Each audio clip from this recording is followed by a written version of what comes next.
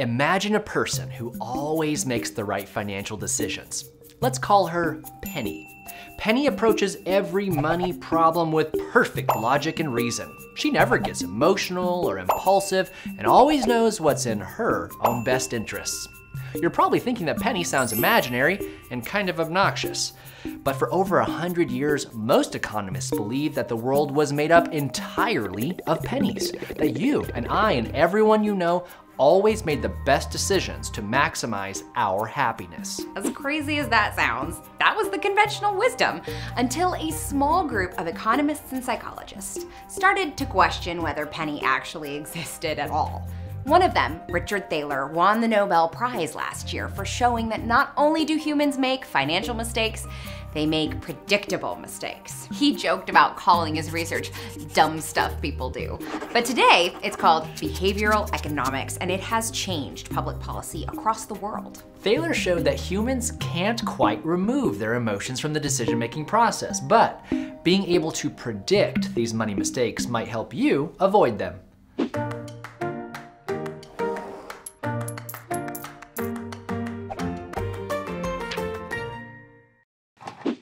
Say you're helping your mom clean out the garage and you find a pack of Pokemon cards that you must have bought when you were a kid and forgot to open. So you go through them and holy cow, there's a first edition Charizard in mint condition. Even though you could easily get $3,000 on eBay for it, you decide to buy a frame and keep it on a shelf in your apartment.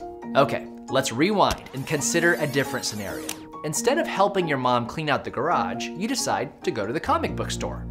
There, in a glass case, you see a first edition Charizard card priced at $3,000. Even though you used to love Pokemon, you would never dream of shelling out that kind of dough for a playing card and you leave the store. This may seem like understandable behavior, but it's completely irrational.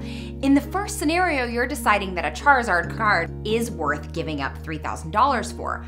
But in the second scenario, you're deciding a Charizard card is not worth giving up $3,000 for. To a perfectly rational being like Penny, whether or not you already own the card should be irrelevant when judging its value. But clearly, to humans like you and me, it's very relevant. Thaler called this the endowment effect.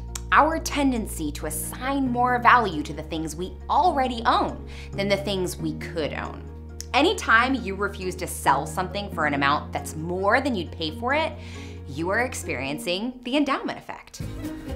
Ugh, this movie's awful. I know. Why don't we watch something else? We can't. Well, why not? I paid six bucks to rent this movie. We can't just throw that money away. Oh, you burned the popcorn. We have to finish it. That bag cost us 89 cents. Have you ever watched a movie you hated all the way to the end? Or finished a meal you weren't enjoying just because you paid for it and you wanted to get your money's worth?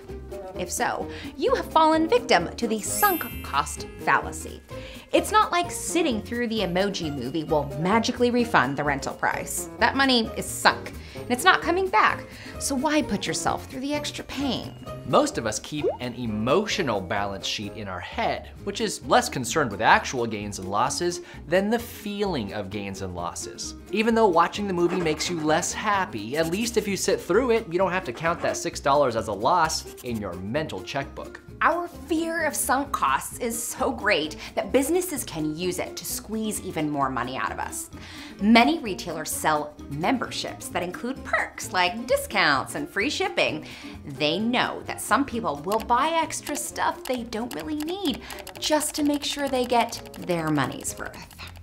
Imagine that you're shopping for some headphones and you're about to buy some for 15 bucks when you find out that the store down the street is selling the exact same pair for 10 bucks. It's just a 10 minute walk. Would you do it? Now, same scenario, but this time you're shopping for a laptop. The first store has the model you want for 675, the second store 670. Now do you take the walk? Many people will answer these two questions differently even though they are essentially the same question. Is it worth $5 to take a 10 minute walk? All other context should be irrelevant. Yet people are more likely to say yes to the first scenario because it feels like you're getting a better deal. This is called transaction utility, the amount of mental pleasure or pain we get from feeling like we paid less or more than something's really worth. And it's often totally disconnected from the happiness you get from the thing itself.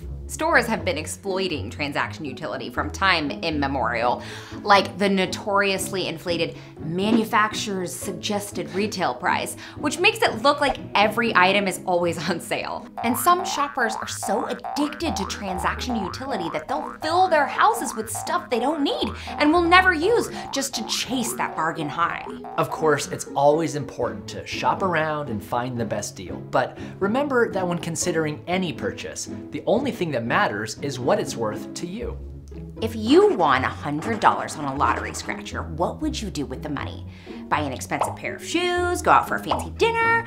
Most people say they're more likely to spend unexpected income on something indulgent or frivolous because, hey, it's not like I worked for that money. It was free. Thaler called this kind of thinking mental accounting, which means separating money into imaginary categories in your mind. Mental accounting violates the rule that money is fungible, that is totally interchangeable. Once you own a dollar, it's the same as any other and it shouldn't be treated differently just because of where it came from. For Penny, that pair of shoes is either worth giving up $100 for or it's not. Just because some money unexpectedly showed up doesn't make the shoes worth more. Mental accounting can be helpful in making monthly budgets and sticking to them, but even then, it can lead us down irrational roads. One study focused on how consumers reacted to a drop in gas prices from 4 to $2 a gallon. This was at the beginning of the 2008 financial crisis, so you'd think that most families would have had a lot of use for that extra 40 bucks a week. Instead, researchers found that people were surprisingly likely to squander those savings on a higher grade of gas. It's as if in their minds they had budgeted a certain amount to gas, so it had to be spent on gas. They couldn't treat the money as fungible. Mental accounting exists for the same reason a lot of fallacies do, because our brains aren't perfect supercomputers and we use a lot of mental shortcuts and emotional instincts just to get by. But knowing what those shortcuts are will make you less likely to rely on them in the future. You may not ever be as wise as Penny, but being penny wise is pretty good too. And, and that's, that's, our two cents. If you want to hear more examples of dumb stuff people do, check out Richard Thaler's Misbehaving, the Making of Behavioral Economics. It's a funny and fascinating history of Thaler's research full of surprising studies that will inspire you to think differently about money.